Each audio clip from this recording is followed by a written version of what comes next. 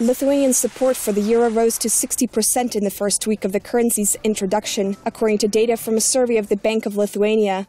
The euro's biggest supporters are young people between the ages of 18 and 29 years, according to the bank. The number of those who were skeptical of the euro fearing a rise in prices has decreased from 49% to 35.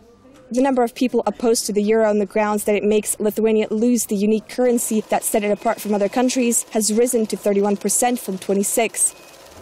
Lithuania became the 19th European Union member state to adopt the euro on January 1st. During the first 24 hours of its use, Lithuanians rushed to convert their old litas to the new currency.